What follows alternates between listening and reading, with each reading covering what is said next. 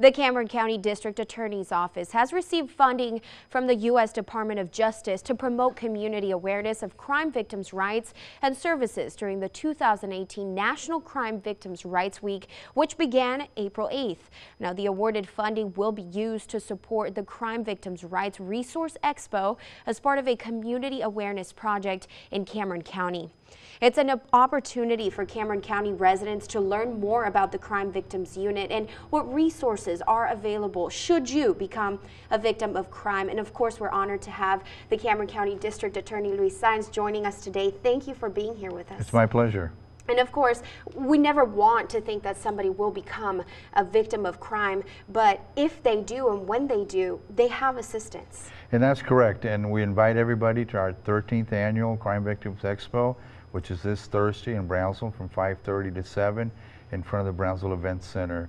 It's a twofold objective to orient the public to the services that we offer and to also let them know that there's other community outreach organizations that assist, with, assist us and partner with us in offering services to all victims of violent or nonviolent crime. Yeah, and you know, some people at home may not understand what is a victim of crime. So if you can tell us a little bit of what what would be defined under such. Victims of crime are victims of violent crime, i.e., you know, murder, uh, you know, assaults, child abuse, domestic violence. So we have a lot of that.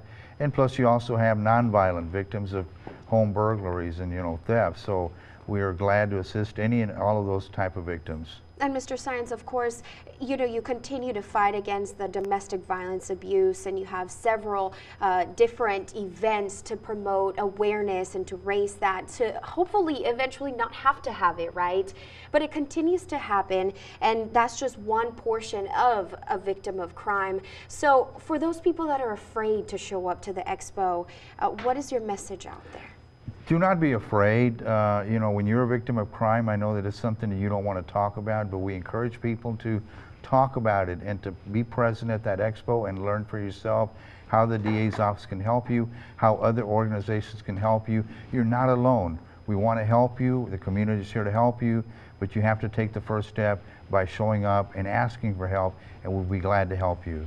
Absolutely. We do have a graphic to share with you here about when that expo is happening. It's coming up on Thursday, April 12th. Be sure to take advantage of this opportunity before we go, Mr. Saenz. If you can just give us a brief description of what people will see there.